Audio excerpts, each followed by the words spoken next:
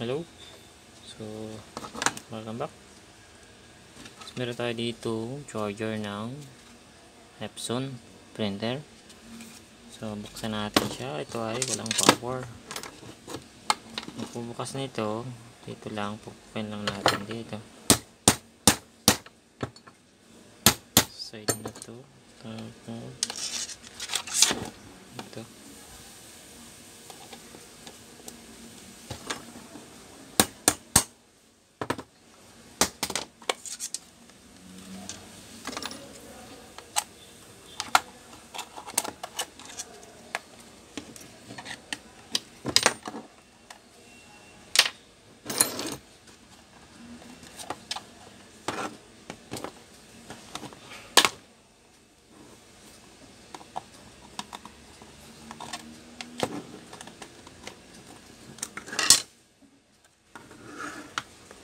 So, siya ng sunog.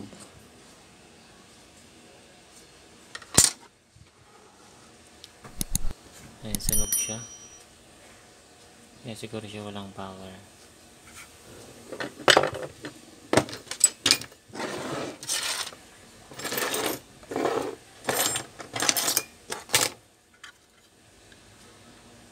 Ingat lang tayo, baka may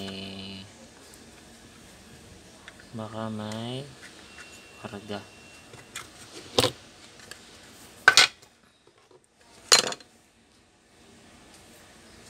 stirin muna natin. Lagay natin sa sa DC baka tayo may ground baka may karga okay wala.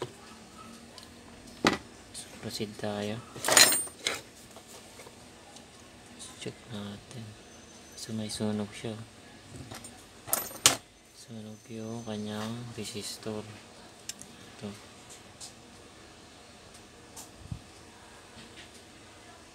Sunog siya. So ang value nito ay I think uh, brown. Orange brown tapos silver brown. Kaya lang may mga sunog pa pala sa ilalim. Ayan. Linisin lang natin. Sukin ko lang.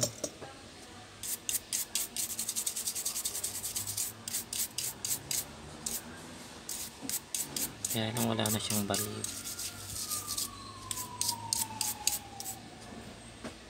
uh, resistor wala tayong mapagkukunan na sample.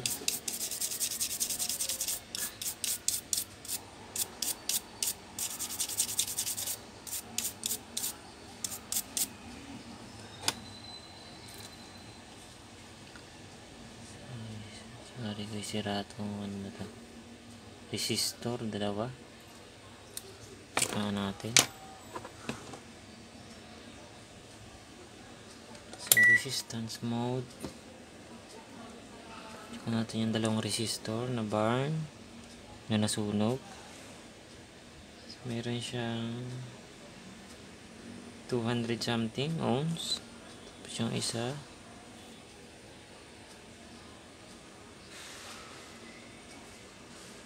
for 40 44 something 44 kilo ohms itong isa ay kilo ohms din ba meg so 1.8 something 1.6 1.m m.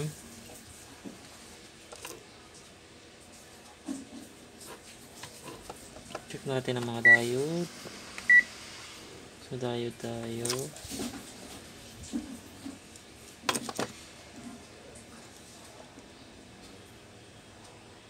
so isang tester ang gamitin ko. Um, iba kasi yung digital. So digital natin ay kabilaan meron siyang supply na pumapasok. Isang 500 isang 1000 plus minsan. Kasi kaya niyang basahin yung ano eh. Ayan so yung pointer natin. Natin. Okay. So, diode. Baliktad, baliktad. Okay, hindi pa pala good. Kaya isa pa, diode. Baliktad. Okay, hindi pa malo. So, mayroon pang dalawa. Itong dalawa na to. Okay. Aha. So, mukhang shorted na siya. So, bakit shorted? Kailangan natin yung iangat. Itong isa diet pa to.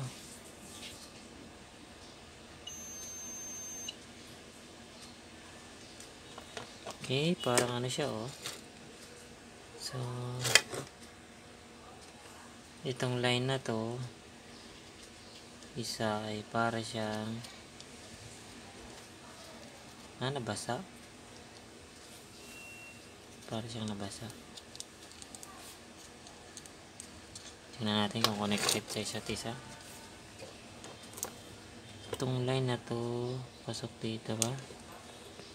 Check natin kung connected pa. Saka dumaan dito.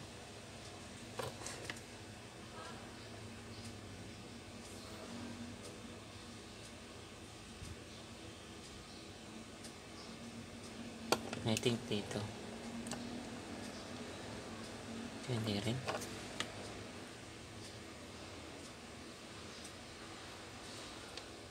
Ito yung line. Kaya natin. Ito. Major putol lang.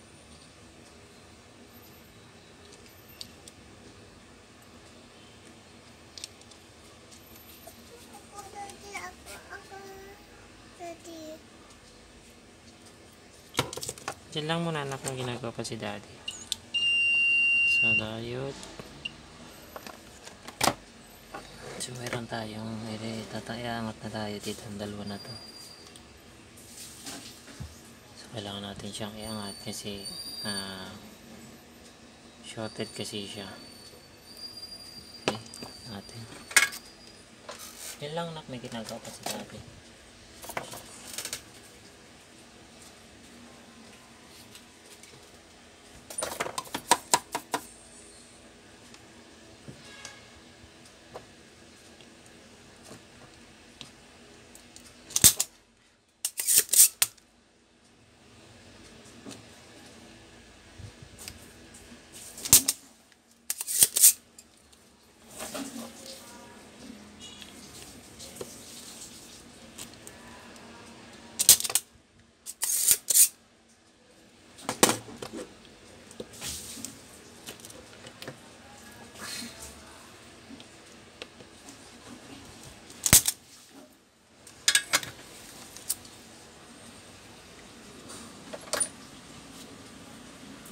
Subukan natin itong iangat.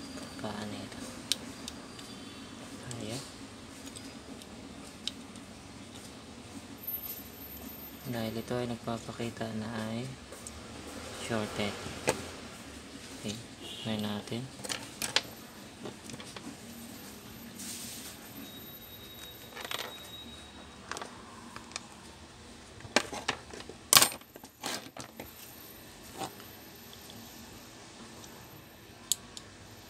Okay.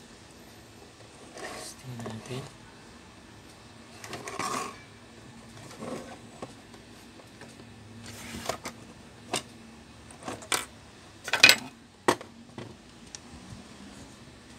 Ay. So, check natin. Ito. Okay. Kabila. Kaya hindi pumalo. Malita rin natin ang tester.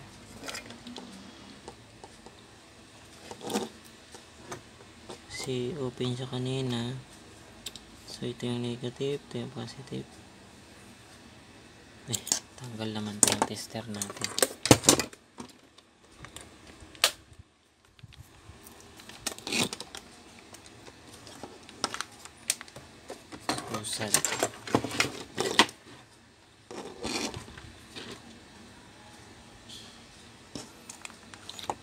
Sorry. Ulit.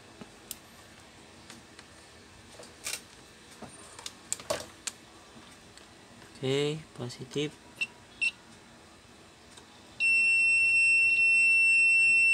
Diba?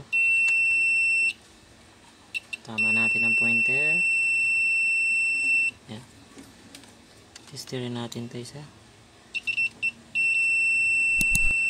So, open na talaga siya. Shorted na. Balik rin natin. Test proof.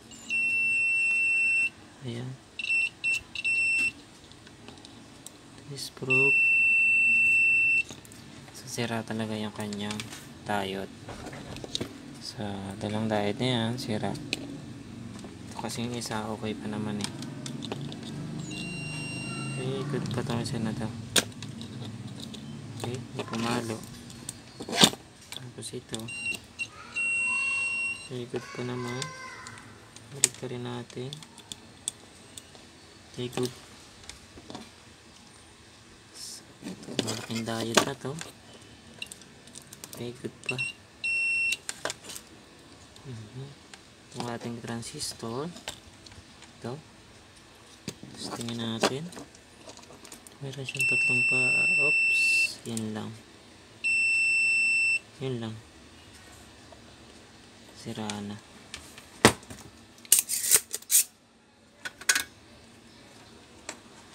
Malaki-laki yung magagastos. Ah, bili na lang tayo ng bago. Kasi yung ganito is mga 600, 500, ganyan. Yung charger natin ng ah, printer.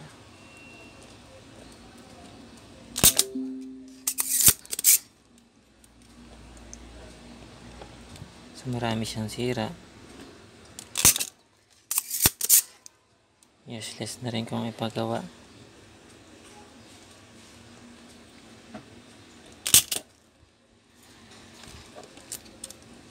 Tanggalin lang natin yung paa. Ating heatsink. Sama na natin para makita natin yung ibang pesa.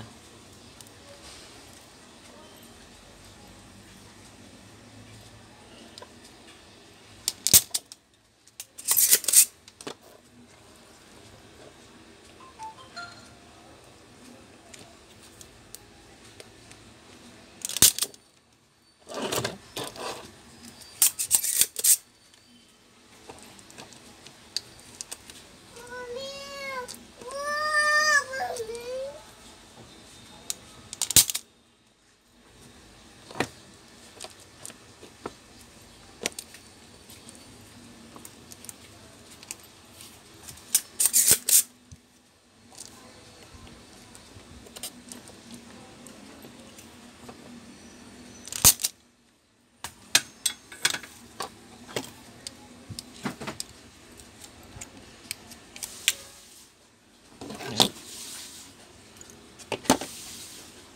Mas mainit. So, ang value nito ay JCS 4N 55F. So, tester natin ang hindi nakakasaksak. Let's check. Talagang shorted na siya. Okay, hindi. Okay. Hindi siya shorted. Baliktarin natin. Mhm, parehas. Hmm, ano ba to? Mabalo siya. Mhm, tester naman natin ang nagluloko pala. Tama natin ang pointer. Yan, para makita natin kung shorted nga. Ayan, sira na po talaga. Ayan, kabilaan po, pumapalo. So, marami tayong sira. Nakasira itong ating transistor, power transistor. So, sira pa yung ating yung ating ano na ito, resistor plus dalawang diode. So, sira pa yun. Tapos, ang masama nito, kapag ito'y sira, itong power IC controller na ito nasa ilalim. Yan. Kasi hindi, ko, hindi natin siya matitesting kung good ba siya o hindi. Kasi nasa paano siya ng primary. Ito kasi yung primary natin. Ito yung secondary natin. Output na to, secondary. O, pansin nyo siya, yung primary natin may malaking capacitor. Ah, ito yung ACN, transformer. Yan, so shorted pa itong ano na to, diode. Ayan, so I think hindi na ito ipapagawa ng customer. Kasi itong, itong ganitong board ng Epson, power supply ng Epson L120, L110. Ayan. Ayan siya. oh. Power supply model E EPAG 2110 SDE 110 ah, 110 to 220 42 volts ang output niya. So pag ganito kasi and then ito ipapagawa ng customer malaki na kasi magagastos palagay ng ah, labor natin 150 plus 2 kung 150 ito tapos yung mga diode-diode pa natin so meron kasi nabibiling ganito na board na 300 to 600 so bilhin na lang ang bago na yan Kaya, yan ang ating diagnosis sa board na to so na-check natin yung sira Ayan, yun ang problema niya. Eh, tanong din natin sa may-ari kung papagawa pa hindi. Ay, pero sa tingin ko hindi na. Yung recommendation ko kasi, huwag na siyang ipagawa. Ayan. So, hanggang dito na lang ang aking diagnosis sa charger ng printer na Epson. Epson charger. L110, L120, L310, L220, L360, ganyan. May mga series na yan. Ito yung charger. So, ayan. Sabi kasi, umusok daw. So, ayan yung barn, ano niya, barn. So, ito na natin siya, i-recommend na ipagawa. So, hanggang dito na ating diagnosis. I hope, ah, kahit pa paano, makakatulong. Pag open, ah, ano nyo lang dito, sa kanto na to. Ah, yung matalim, ah, kutsilyo. Kabila, tapos iangat nyo na, dire-diretso ma-open nyo ng takip. Tapos yun, yung pagda-diagnosis, ah, ganun lang para sa mga baguhan. So, mga master, alam na to. So, hanggang dito na lang ang video. Salamat. Bye-bye.